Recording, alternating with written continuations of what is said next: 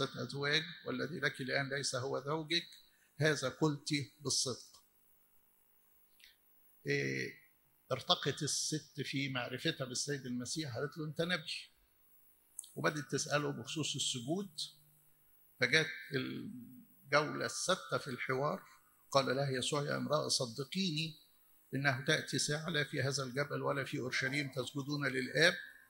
أنتم تسجدون لما لستم تعلمون أما نحن اليهود يعني خصوصا مملكة الجنوب يعني يهوذا. أما نحن فنسجد لما نعلم لأن الخلاص هو من اليهود. ولكن تأتي ساعة وهي الآن حين الساجدون الحقيقيون يسجدون للآب بالروح والحق لأن الآب طالب مثل هؤلاء الساجدين له. الله روح والذين يسجدون له فبالروح والحق ينبغي أن يسجدوا. قالت له أنا عارفة إن مسيا آتي فجت الجولة السابعة والأخيرة في الحوار رقم سبعة رقم كامل. قال لها يسوع أنا الذي أكلمك هو. الترجمة الدقيقة أنا هو. الإيجويمي أنا هو الذي يكلمك. والمجد لله دائما أبديا آمين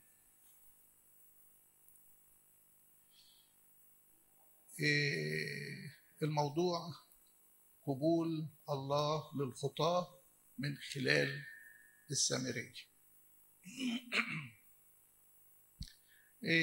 مقدمة كده صغيرة ممكن يكون معظمنا عارف تفاصيلها بس علشان يبقى الكلام واضح. انت تخيلنا خريطة إسرائيل فالجليل ناصرة المكان اللي اتربى فيه المسيح ده في أقصى الشمال أقصى الجنوب في أرض إسرائيل دي اليهودية اللي فيها بيت لحم واللي فيها الهيكل. المنطقة اللي في النص ما بين الاتنين دي منطقة السامرة كانت في عداوة قديمة خالص ما بين اليهود كلمة اليهود بقى مقصود بيها اللي هم اللي عند أورشليم تحت وما بين السامريين. العداوة دي بتبتدي من أيام رحبعام ابن سليمان لما عشر أسباط انفصلوا وبقى بيملك عليه عليهم واحد اسمه ياروبعام فدول انفصلوا بقوا بيكونوا مملكة اسمها مملكة الشمال. العاصمة بتاعتهم في الأول كانت شكيم بعد كده بقت مدينة السامرة ومملكة الجنوب دي اللي فيها سبطين سبط يهوذا وسبط بنيامين دول اللي عندهم الهيكل دول اللي بيجي منهم الملك الشرعي اللي من نسل داوود. فمن هنا بدت العداوة ما بين الاثنين بالانفصال جت مرحلة تانية في العداوة إنه مملكة الشمال راحت لسبي اسمه سبي أشور وبدوا يختلطوا بالأمم. فاليهود المتشددين بدوا يشعروا إن الناس دول ما يعتبروش يهود. فيما بعد بدوا بتوع السامرة دول يرفضوا بعض أصفار العهد القديم ما كانوش بيعترفوا إلا بأصفار موسى الخمسة. زادت العداوة إنه بنوا لنفسهم هيكل على جبل جرزيم. جبل جرزيم ده جبل البركات اللي لما موسى في سفر التثنية وقف ست أسباط يقولوا البركة وست أسباط يقولوا اللعنات. فجبل البركات جبل جرزيم أقاموا عليه هيكل علشان ما يروحوش يسجدوا في أورشليم. أيام المكابيين هدوا الهيكل دوت. عشان كده نفهم بقى كلمة المرأة. العداوة اللي بين اليهود والسامريين إزاي تطلب مني اللي تشرب وأنت يهودي وأنا سامرية؟ إحنا الاثنين في عداوة ما بيننا. أنتوا بتعتبرونا نجسين زي الأمم يعني المية بتاعتنا نجسة إزاي أنت تشرب تطلب تشرب مية نجس من ست سامرية؟ ونفهم أيضا لما بتقول له بقى أبائنا سجدوا في هذا الجبل بتشاور على جبل جرزيم لأنه البير دي اللي كان قاعد عليها ربنا يسوع البير دي كان أبونا يعقوب لما كان راجع من عند خاله لابان اشتراها من أهل شكيم. ولما جه يدي البركة ليوسف اعتبر يوسف خد نصيب اتنين فراح مديله زيادة عن بقية إخواته البير دوت. المية اللي حوالين البير كلها مية مالحة لكن المية بتاعت البير ده تحديدا مية عذبة. قالت له شرب منها هو على بني يعقوب وبنيه ومواشيه. إيه دي كده كخلفية إيه للقصة. فكانوا الناس اليهود لما يحبوا يسافروا سواء كان من الجليل للهيكل اليهودية أو من اليهودية للجليل كانوا يتجنبوا العبور في السامرة لأن بيعتبروهم ناس نكسين. فكانوا يلفوا يروحوا شرق الأردن ويلفوا وبعد كده يعدوا تاني الأردن يروحوا أورشليم أو يمشوا من خلال البحر. إيه الكتاب يقول بداية القصة إن حصلت عداوة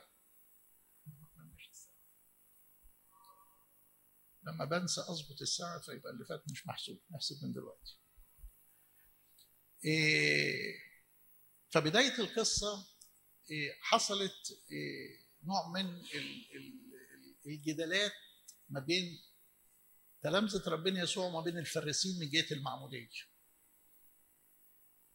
إنه تلامذة المسيح كانوا بيعمدوا. معمودية لا هي معمودية يوحنا المعمدان ولا هي معمودية المسيحية لأن المسيح لسه لم يصلب ويقوم. إنما هي معمودية ما بين الاثنين. اعتراف بأن يسوع هو المسيح. فحصل جدال. فربنا يسوع زي ما قال عنه اشعياء لا يخاصم لا يصيح لا يسمع في الشارع صوته فراح سايب المكان اللي فيه العداوة ديت والخصومة فلما سمع الفريسيين أن يسوع يعمد ويصير تلاميذ أكثر من يوحنا مع أن يسوع نفسه لم يكن يعمد بل تلاميذه ترك اليهودية اللي هي الجنوب ده تحت ومضى إلى الجنوب. لقى في خصومة ونزاع راح سايبها ومشي. طبيعي لما يسافر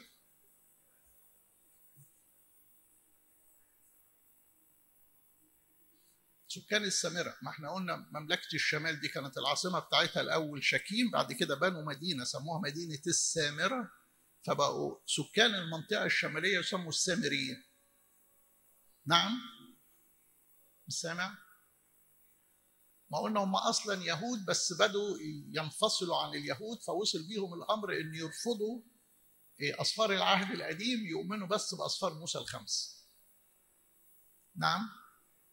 يهود آه بس يهود مختلطين بالأم فكنت بقول إنه ربنا يسوع إيه المعتاد زي أي راجل يهودي ما يعديش على السماء.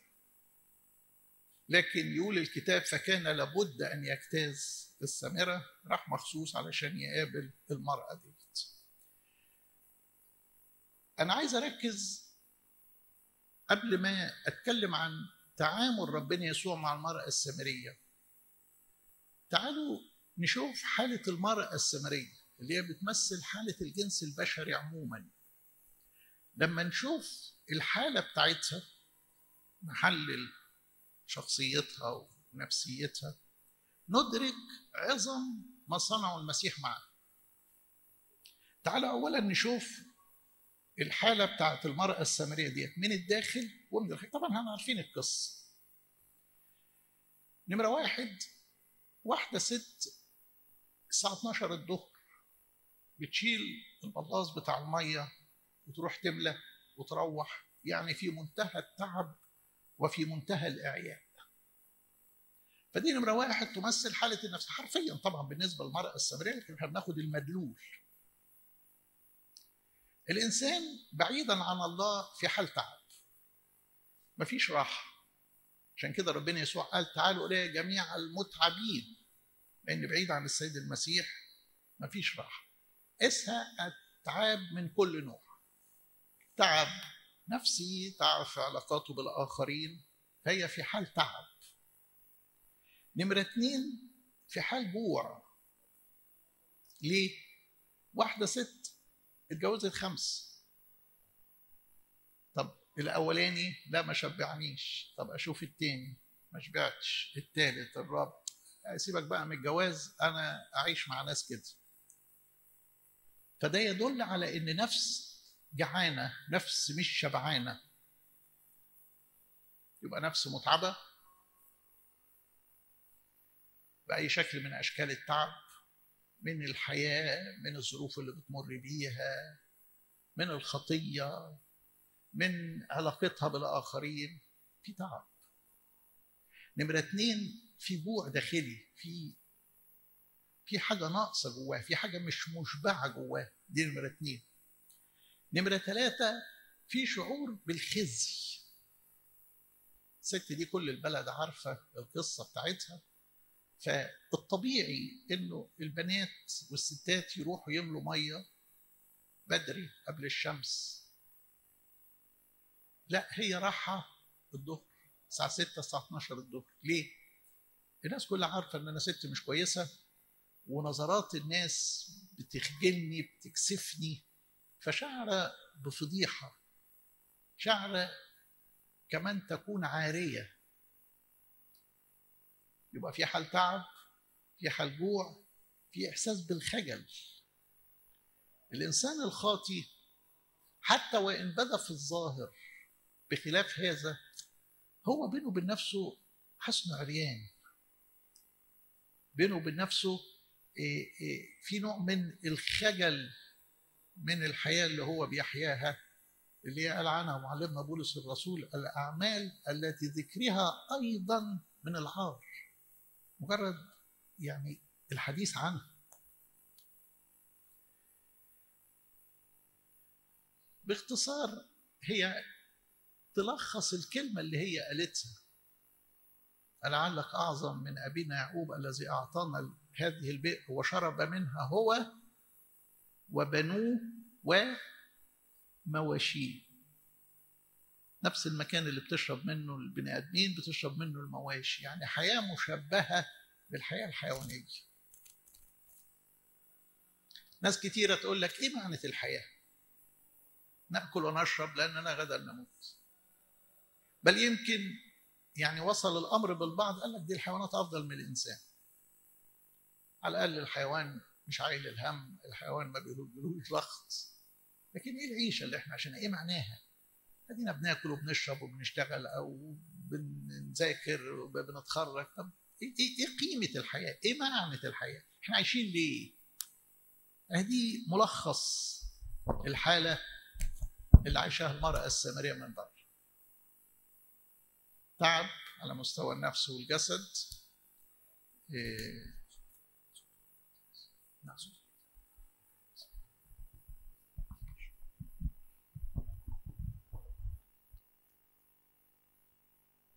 يبقى حالة المرأة دي تمثل حالة النفس البشرية في تعب مفيش راحة مفيش سلام داخلي في حال جوع حاسس إن أنا مش شبعان حاسس إن مفيش حاجة مكفياني مفيش حاجة بترضيني.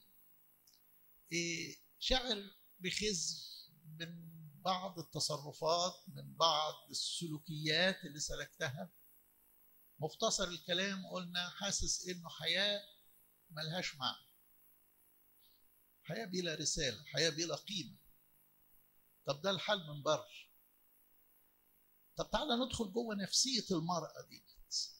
حاول يعني تتخيل واحدة ست. اولا اتجوزت راجل وبعد كده سابته اتجوزت راجل تاني اتجوزت راجل تالت. إيه يا ستي عايزة إيه؟ قالت أنا عايزة حد يحبني. عايزه حد يهتم بيا عايزه حد يحتويني عايزه عايز حد يحسسني بقيمتي. إيه فجربت الأولاني مش مهتم مش بيشبعني مش بيفرحني. في جوع داخلي داخل نفوسنا كبشر إن إحنا نحب ونتحب. وأكتر حاجة تتعب نفسية الإنسان انه يشعر إنه غير محبوب إنه غير مرغوب فيه إنه مش شبعان إنه مفيش حد محتويه. أدي أول حاجة داخلية جوه نفس المرأة ديت. محتاجة حد يحبني حد يهتم بيا. نمرة اتنين. إحساس الخسارة إن أنا حبيت حد وكنت معلقة عليه امال الزوج الأولاني. إذ ده على مستوانا إحنا؟ مش لازم بقى واحد يتجوز أربعة وخمسة لكن يعني قيسها بقى على مستوى الأصدقاء؟ يمكن على مستوى البيت بشكل أو بآخر. إيه؟ ف أنا حطيت أمال على شخص وخزاني دي بتكسر النفس من جوه. لا ده أنا اكتشفت كمان حاجة تاني إن الناس دي مش بتحبني الناس دي عايزة حاجة مني. يعني مش مش مش, مش عايزاني بالنسبة للمرأة يعني علاقات وحاجات زي كده. لكن على مستوى النفس دول بيستغلوني دول مش بيحبوني. دول عايزين ياخدوا مش يدوا. في حين إن أنا عايز أدي أنا عايز أحب وأتحب. لا اللي قدامي كل اللي بيفكر فيه إنه عايز ياخد مني حاجة ايا كانت الحاجة دي. على مستوى قليل خالص الجسد على مستوى المصلحة على مستوى أي حاجة. لأنه اللي قدامي مش بيدي اللي قدامي ما بيفكرش غير في نفسه. اللي قدامي مش مهتم بيا لشخصي. بص ال... بص الوجع اللي فيه النفس دي من جوه. محتاجة حد يحبني ويحتويني. شعر بانكسار كل مرة تبتدي علاقة جديدة صداقة جديدة صحاب جداد يكسفوني يخجلوني يكسروني. اكتشفت إنه ما حدش بيحبني ده هو عايزين حاجة مني ايا كانت الحاجة ديت. يمكن لو خدوا الحاجة دي خلاص بعد كده مش مهم بالنسبة لهم. حاجة توجع في النفس دي من جوه. أيضا جربت شهوات الجسد. اديني مشيت ورا الجسد وحاولت اشبع الجسد بكل الاشكال. مش شهوات الجسد ما اشبعتنيش ما اشعرتنيش بالكفاية. ادي حالة المرأة ديت حالة النفس البشرية من بره ومن جوه. طب لما بتشعر بالحالة ديت بتحاول النفس البشرية إنها تشبع ذاتها. ادي ادي الصورة بتاعت النفس ديت. فطيب أنا هدور على شبع.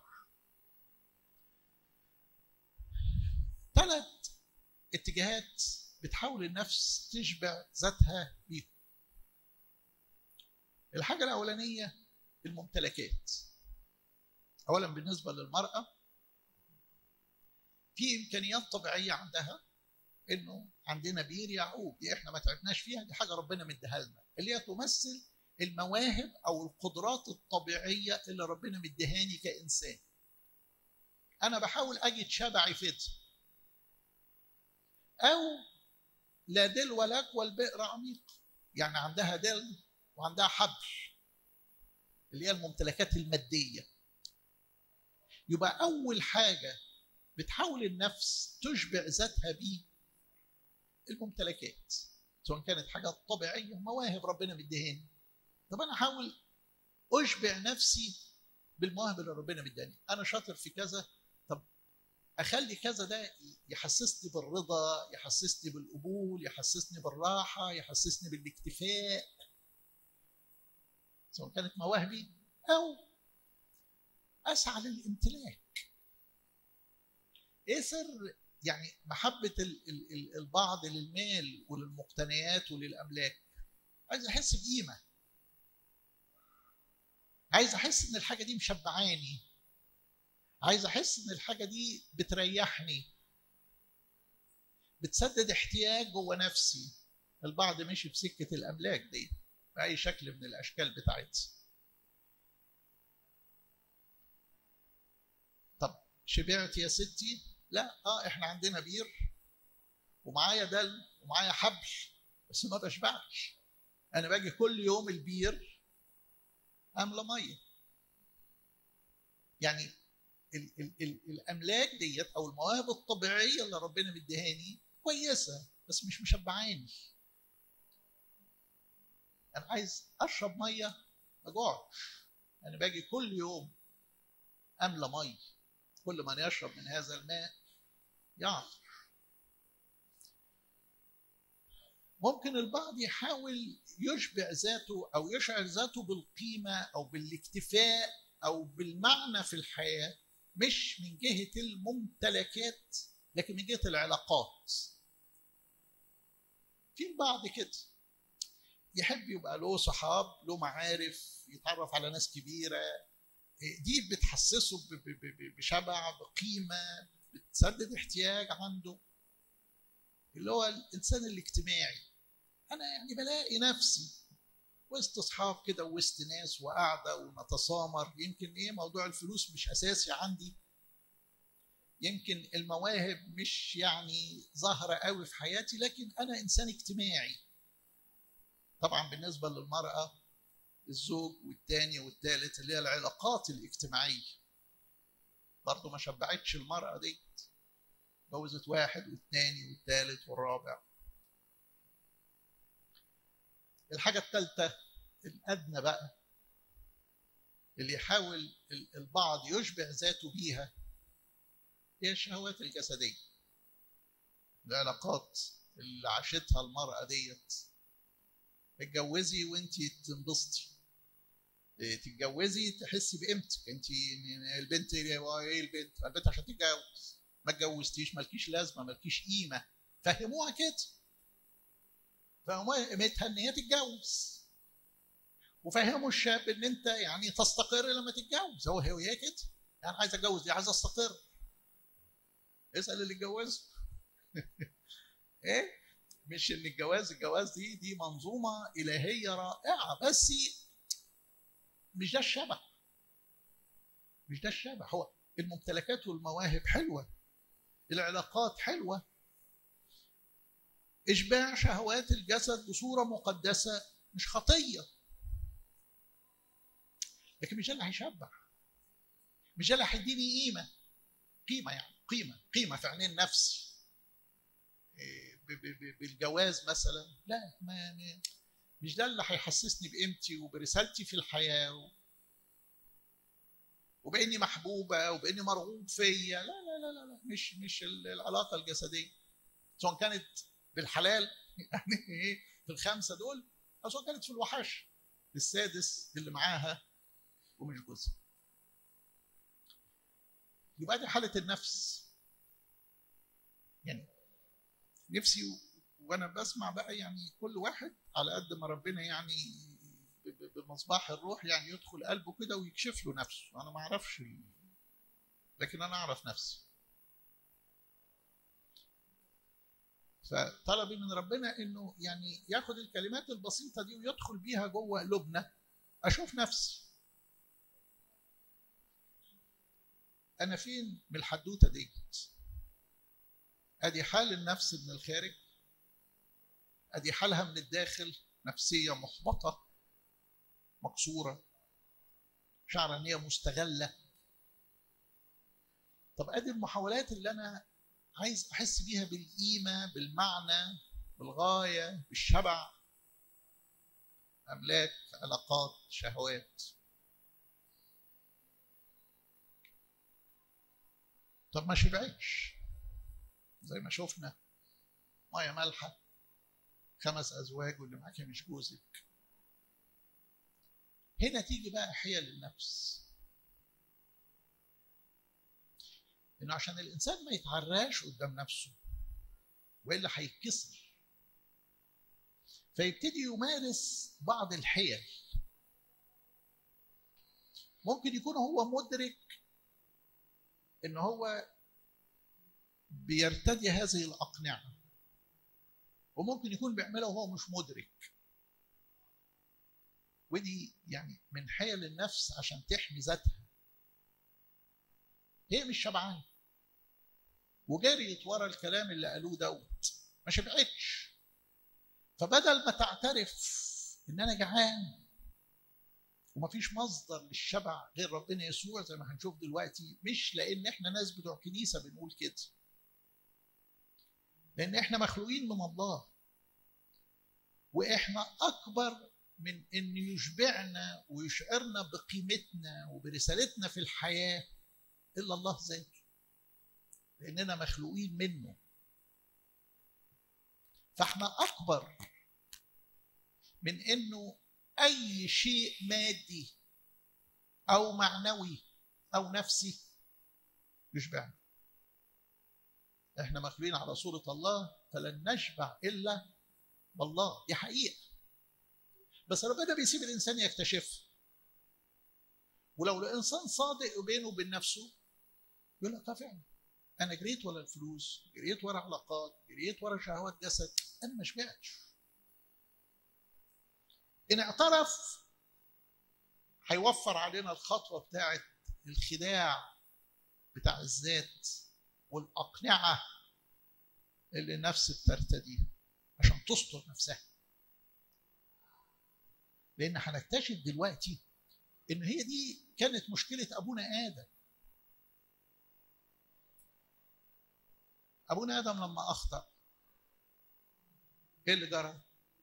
شعر انهم عريانين طب أنا عريان ده أنا هتكسر. ده يعني أنا هتكسر قدام ذاتي. هنهار. طب اعمل إيه؟ طب أحط ورقتي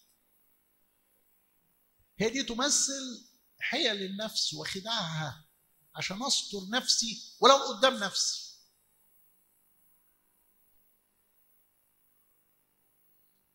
طيب اعترف إنك عريان.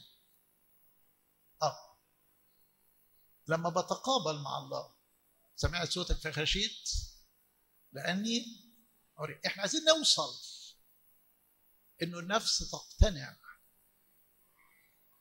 إن أنا عريان إن أنا مش عارف أستر نفسي إن أنا مش عارف أشبع نفسي إن أنا مش لاقي قيمة لحياتي بعيدا عن الله.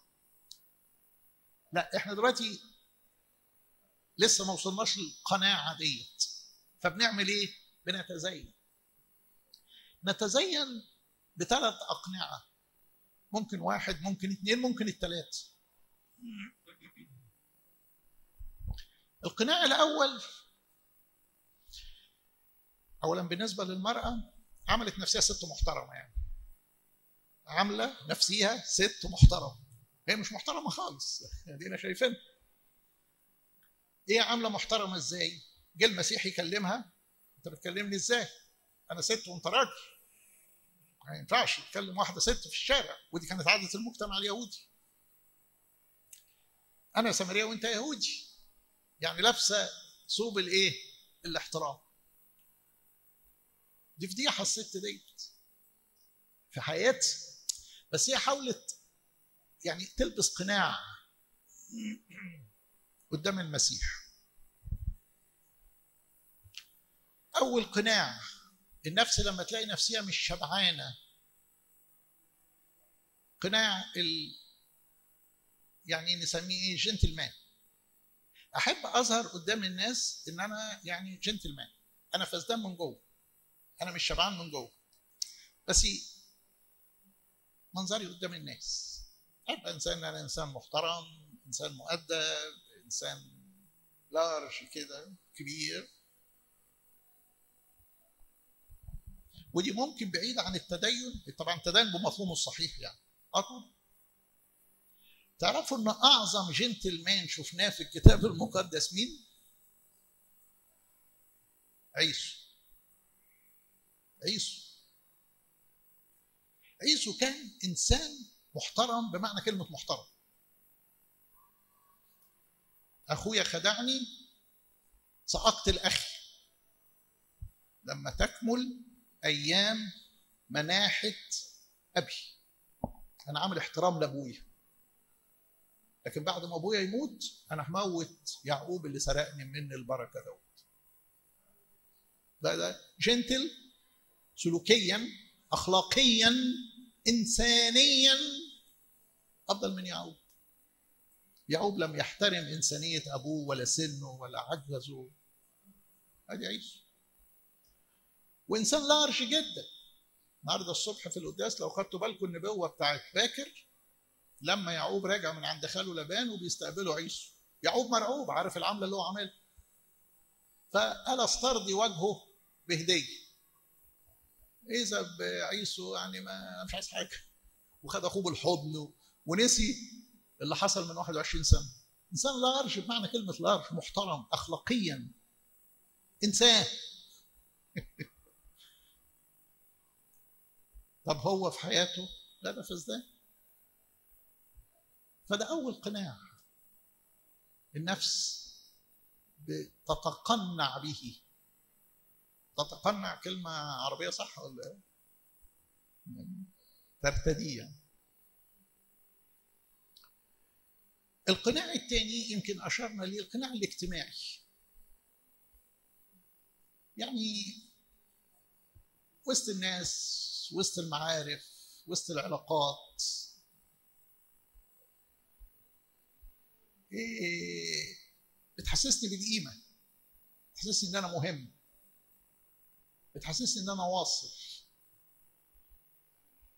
معلمنا بولس الرسول قال غير منقادين إلى الأمور العالية بل منقادين إلى المتضعين. ما تدورش إنك عايز تتعرف على الكبار تبقى قريب من الكبار وتطلع في الصورة.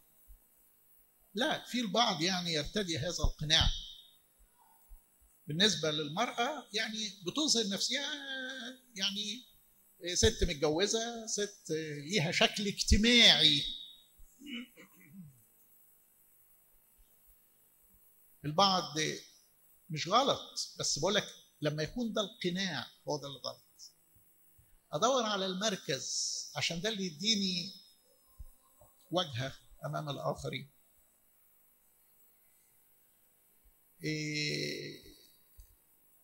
أدور على العلم. مش غلط. بس مرات كتير يبقى ده القناع اللي أنا بجمل بيه نفسي بحسس ذاتي بالقيمة. قناع تاني النفس ترتدي. مش عايز تعترف إن هي جعانة. قناع ثالث وده قناع يعني المرتادين على الكنائس قناع الروحي قناع روحي تخيل ست متجوزة خمسة ولا معاها مش جوزها وبتتناقش في قضايا لاهوتيه اباؤنا سجدوا في هذا الجبل. وأنتم تقولون إن في أورشليم الموضع الذي ينبغي أن يسجد فيه. في موضوع لاهوتي شغلني لا نسجد هنا ولا نسجد هنا. يا امراه صدقيني تأتي ساعة أنا أعلم أن مسيا يأتي. آه في معرفة روحية في مجادلات لاهوتية. إيه, إيه شك. أنا عشان كده تملي المايك كده عشان بينزل من إيدي من غير ما أشعر. إيه إيه فده قناع روحي. إيه عشان إيه يعني يحميني من نفسي.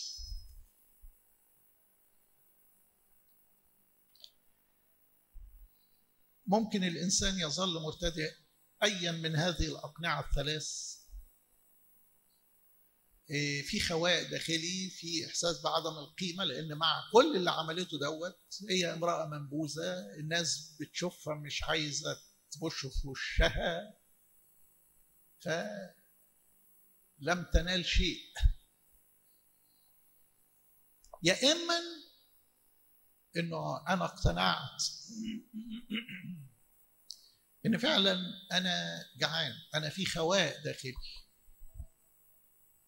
لما تصل النفس للحالة ديت بص بقى المسيح كيف يستقبل مثل هذه النفس؟ بص أسلوب المسيح يعني ست خطوات رائعة جدا. الحاجة الأولانية إن المسيح راح مخصوص لهذه النفس. كان لابد أن يجتاز السمرة. هو في لابد على على الله الخالق. فيش لابد. لكن لابد دي نابعه من المحبة. هو رايح مخصوص علشان يتقابل مع هذه المرأة. يعني المسيح بيبحث عن الإنسان وخصوصا وبالأكثر هو بيبحث عن الكل بس لن يلتقي به إلا الإنسان اللي بدأ يشعر بالجوع وبالعوز وبالعري وبالخواء وباللا معنى وباللا قيمة. وكل ما بيكون جرب السكك ديت كل ما بيندفع تجاه المسيح بقوة. يمكن اللي ما جربش يقول لك ياه زي الولد الكبير. الولد الكبير قاعد في البيت بس هو عينه بره.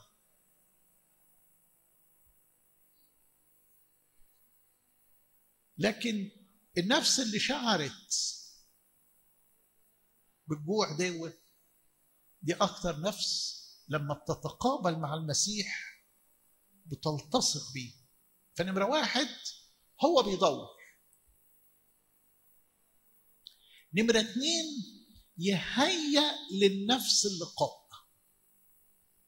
أول ما المسيح وصل يقول لك جلس يسوع هكذا على البئر مجهد. رمى نفسه على البير من التعب. مشى التلامذة روحوا بتاعه طعام. خد بالك المسيح ما كلش في الآخر. ولما قال للمرأة السامرية أعطيني لأشرب ما شربش في الآخر ماديا. لكن هو ارتوى بتوبة المرأة والطعام عايز يبعد التلامذة ليه؟ عايز هيئ ما هي الست دي لو جات ولقت ربنا يسوع معاه 12 راجل إيه؟ دي كانت جريت فهو هيئ لها الجو. المسيح بيعمل كده. يهيئ للنفس. في البداية بيهيئ لها عشان تشعر بجوعها وبعوزها وباحتياجها وبفقرها. لما تشعر بدي يهيئ لها سكة الشبع واللقاء بيه. التهيئة دي تيجي إزاي؟ كل ظروف الحياة اللي بنمر بيها. ليه بيحصل كده؟ ربنا عايز يتقابل معايا. عرفت حبايبي بقى أنا فلان خزاني. فلان ما كانش العشم يعمل فيا كده. ده أنا كنت صادق في صداقتي معاه أو في علاقتي بيه.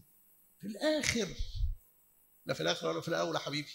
دي كلها سبل الله بيعدها عشان يلتقي بيا ما أنا طول ما أنا يعني مرمي وسط الصحاب والأصدقاء والاجتماعيات خلاص أنا شبعان شبع. عارف الولد الصغير لما يروح يجيب شوية شيبسي وبتاع ما تعالى كل يا حبيبي لا أنا شبعان هو مش شبعان ولا حاجة ده, ده, ده نفسه مسدودة. فكل اللي بنمر بيه في حياتنا حبايبي ده ربنا بيهيأ لقائنا بيه يبقى نمرة واحد جاي لها مخصوص.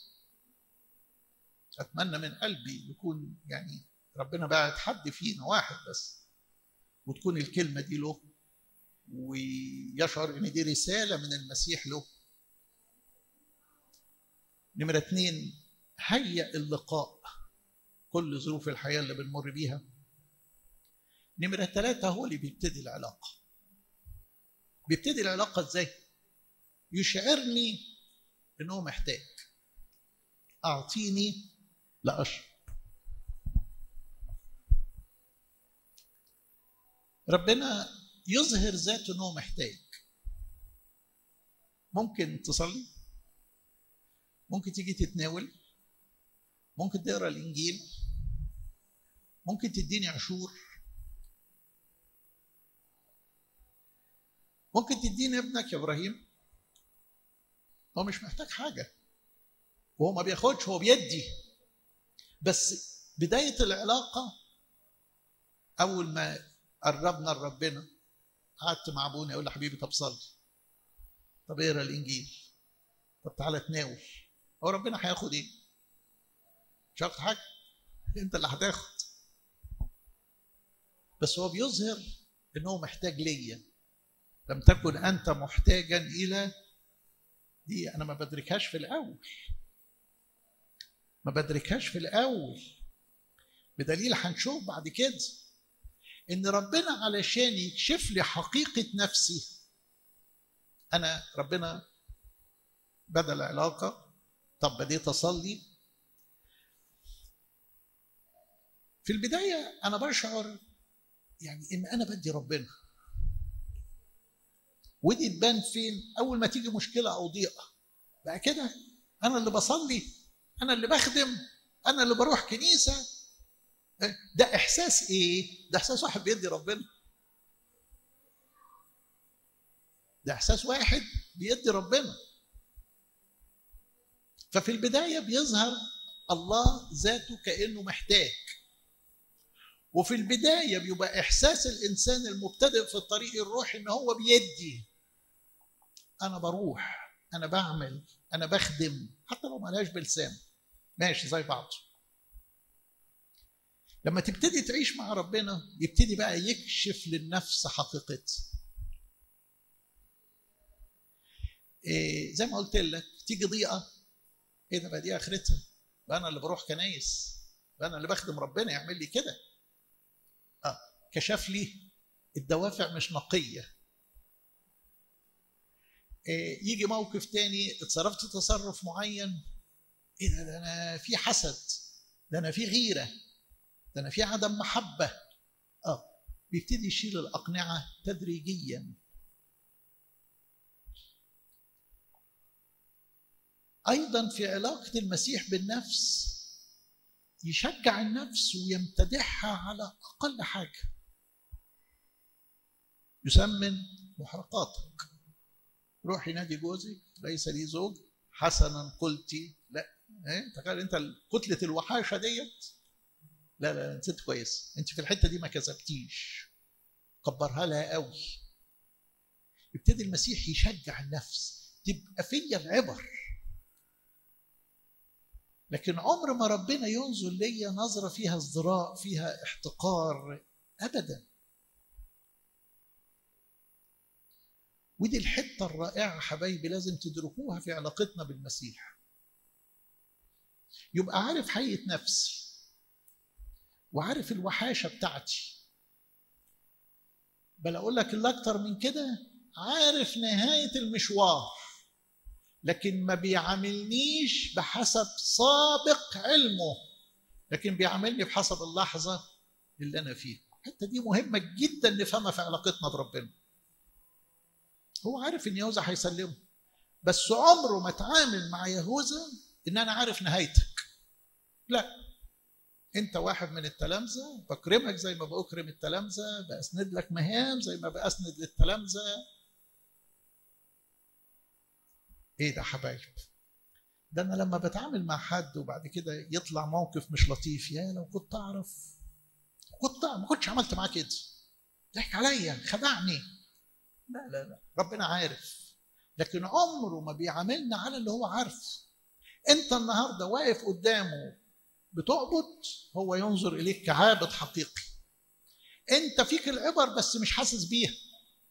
هو ساتر عليه وقابلك بالضعفات ديت. بصوا بصوا الطريقة اللي المسيح بيتعامل بيها مع النفس. أيضا نمرة ستة في معاملته مع النفس. يطول باله عليها. يطول باله. حبايبي لما الإنسان يعيش شوية مع ربنا ويبتدي المسيح يكشف له زي ما هختم بقى حديثي دلوقتي حيل الذات ومكرها والإنسان يبتدي يشوف نفسه على حقيقتها. ده أنا كنت يعني فاكر نفسي إن أنا كذا. ده أنا طلعت وحش قوي لما نور المسيح ينور جوه النفس. أشوف حيل الذات ديت وإزاي أنا يعني ما كنت الصادق أنا أنا من بره باين إن أنا بصلي وإن أنا بروح لربنا بقلب نقي. في دوافع خفية أنا مش عارفها عن نفسي. أعيش مع ربنا ابتدي اكتشفها إيه ده؟ ربنا احتملني وأنا كنت كده. طول باله عليا وأنا كنت كده. تقول أنا الله طيب أول ما تبتدي النفس بقى اتقابلت مع المسيح وبدا المسيح يكشف ليها ذاته ويكشف للنفس ديت ذاتها دوت بالقعدة معاه آخر نقطة أكلمكم فيها. المرأة السامريه دي عملت إيه؟ إيه اللي حصل؟ قعدت تتكلم عن المسيح بس. اتحولت من إنسانة زانية لقديسة كارزه كل اللي مطلوب إنك تشعر إنك جعان. إنه الطرق اللي أنا سلكت فيها ربي ما شبعتنيش. أنا شاعر ماليش لازمة في الحياة ماليش قيمة مش شبعان. طب روح له. روح له اعمل إيه؟ طب أقف صلي حبيبي. هو ربنا محتاج. لا حبيبي مش محتاج بس أقف قدامه. يبتدي ربنا يتعامل مع النفس. يبتدي يكشف للنفس ضعفاتها. ده إمتى؟ ده في القعدة معاه حبايبي عايزين تدوقوا المسيح. أنت هتسمع عنه في اجتماع لكن مش هتدوقه إلا في المخدع لازم أعمل لنفسي كل يوم قعدة مع ربنا. لازم. بحبها تملي تبقى الصبح قبل ما الذهن يتزحم. لو ما فيش فرصة يبقى في أي وقت في النهار. أقعد أقفل الموبايل اركن الساعة دي على جنب واقعد لوحدك. لحن كده بتحبه ترتيلة بتحبها جزء من قداس. اهدى كده. بعد كده امسك الاجبيه اصلي فيها. وانت بتصلي خلي مخك ينشغل بكلام الصلاة. يعني فكر في المعاني الكلمات اللي انت بتقولها. إن استوقفتك آية أو كلمة أو عارفين العربية لما تبقى ماشية وتيجي في رملة كده وتقعد العجل يلف على الفاضي؟ إيه؟ ساعات وأنت بتصلي كده تلاقي حتة كده وقفتك. وقف. كلم ربنا فيها. خلصت. الاجبيه اقعد. افتح حتة في الإنجيل. ايا كانت بقى الطريقة بتاعتك. البعض يحب يفتح الإنجيل وجنبيه كتاب تفسير يقرأ حتة ويقرأ الكتاب. يقرأ حتة ويسمع حاجات بتفسر الإنجيل. لا ديت ولا ديت امسك الإنجيل أي سفر بس امشي فيه بالترتيب. الجزء اللي تقراه أقعد ردد فيه. لو كنت تعلمين عطية الله أو كنت تعلمين عطية الله. ومن هو الذي يقول لك؟ لو أنت عارفة عطية ربنا. ومين اللي بيقول لك؟ اديني عشان أشرب لطلبت أنت منه. هو بيقول لي اديني اشرب لا ده أنا اللي هطلب منه. لو كنت تعلمين عطية الله ومن هو الذي يقول لك أعطيني لاشرب لطلبت أنت. طب يا رب ما تديني. أنت مش رويت المرأة ديت؟ أنت قلت لطلبت أنت منه فأعطاك.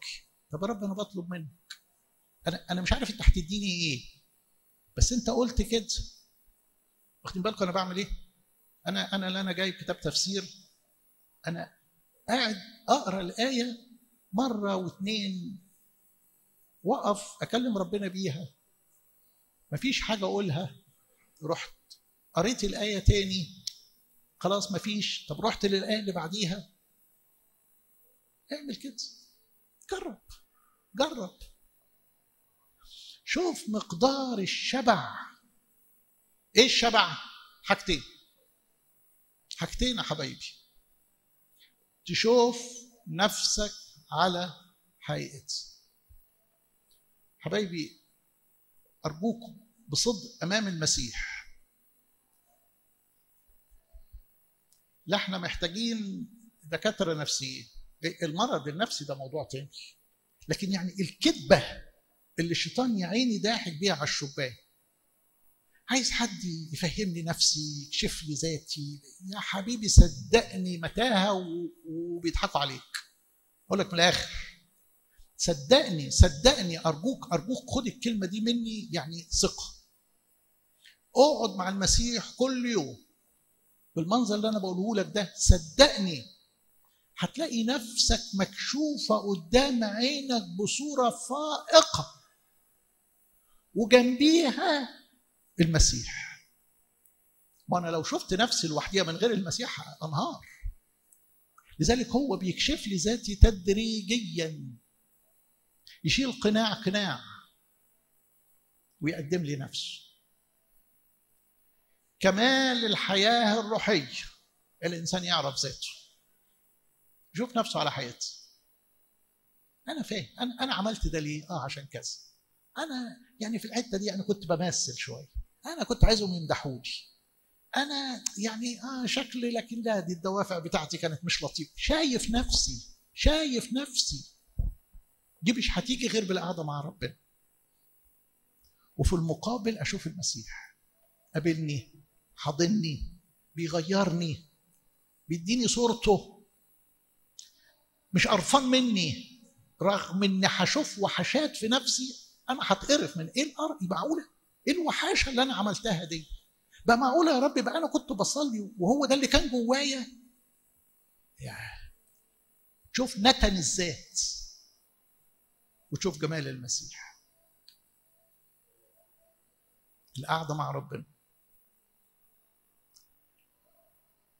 نمرة اثنين الاعتراف. اذهبي وإلى زوجك ليس لي زوج. بس يا ست مش عايزين أكتر من كده. ما أنت كنت يعني واخدة شكل مش بتاعك. لا أنا كشفت شكلي على حقيقته ولو بطريقة مختصرة. الاعتراف. الحياة تتغير بقى. تركت المرأة جرتها يعني بقى في سلوك تاني. بقى في حياة بشكل تاني. المجوس مضوا في طريق أخرى إلى كرتهم بعد ما تقابل مع المسيح السكة تتغير. الحاجة الأخيرة الخدمة. الست دي خدت دروس إعداد خدام عينوها قسيس في الكنيسة. تسألني حتى؟ لا لا. هي فرحانة بالمسيح فهي بدون ما تشعر بتقدم المسيح لكل نفس تلتقي بها هلم انظروا إنسان قال لي كل ما مش أنت اللي كنت بتخجلي منه زمان؟ لا لا خلاص. صلحت مع نفسها.